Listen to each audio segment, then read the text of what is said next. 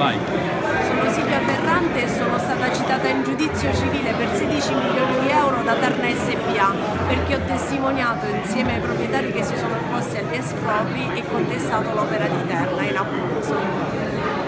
A Napoli siamo tutti Silvia, perché qua abbiamo dimostrato oggi che noi difendiamo i territori di tutto il paese, non solo di Napoli in questo caso, visto che tu vieni dall'Abruzzo e quindi solidarietà assoluta, non mai lasciare soli chi lotta, perché l'isolamento è pericoloso, invece insieme si può non solo resistere, combattere, ma anche vincere.